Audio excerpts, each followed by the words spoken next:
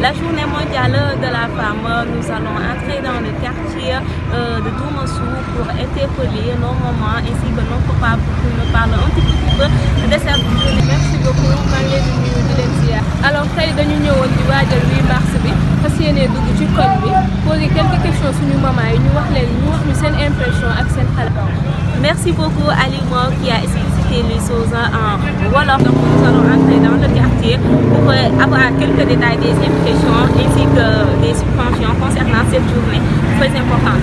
Ma soeur ça va ça va.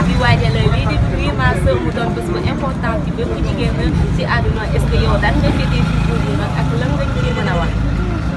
nga dëgg bi mas moom lu baax la wax dëgg yàlla bés bu ne dañoo war a sàggal jigéen ñi. Ndax jigéen ñi moom ay jàmbaar lañu waaw liggéey rek lañu gëm te liggéey lañu doon benn bés ci at bi. Moo waroon nekk chaque jour. Léegi ngeen kii di suñu mag lu mu wax jigéen warul am benn complexe d'infériorité comme ni ñu ci marché yi laajte suñu yeneen yaay yi nu ñu gisee jour bi mu ñuy waajal le 8 mars. waaw 8 mars bon ba si jigéen ñi sargal jigéen ñi jigéen ñi def dóor waar nekk ci job bi ndax góor baax na jigéen baax na. Léegi ñun tamit ñu jël nag benn bés jagleel ñi ko. Loolu laa xam ci réew mais yombul. Yombul mais maa ko taamu xam nga loo jël def ko sa métier muy sa am dañ ciy dem à fond.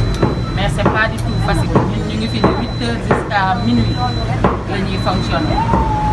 Lu ñu am yóbbu ko ci njaboot bi nag maman bi bu ngeen déggee lu mu wax xam ngeen ni daf fiy jàngale. Mooy que nit ki lépp lu muy def rek mu xam ni passion am la daf cee war a def ak amour. Merci Merci, Lay Macha. jaay. Donc est-ce que vous pouvez un petit peu pour nous parler de cette journée? Oui, il s'agit de la journée du 8 mars, n'est-ce pas, célébrée chaque année. Et voilà, moi je pense que la femme, on doit donner toute la chance à la femme. Et on doit appliquer tous les décrets, toutes les lois votées pour le droit, pour l'autonomisation des femmes en général. Ouais, on doit tout à la femme. Quand nous mangeons, quand on est propre, quand on est élégant, quand on est bon. Ici, le, la femme a droit à tout et tout. Voilà, merci monsieur. Vous avez vu, il y a des hommes dignes de son nom. balaa ñoo ko gisandoo notre émission Tic à sa fin dugg nañ ci c'était tout pour aujourd'hui. Les femmes qui sont braves, qui travaillent toujours et qui réclament surtout l'égalité entre l'homme et la femme. Rendez-vous, Inch'Allah, sur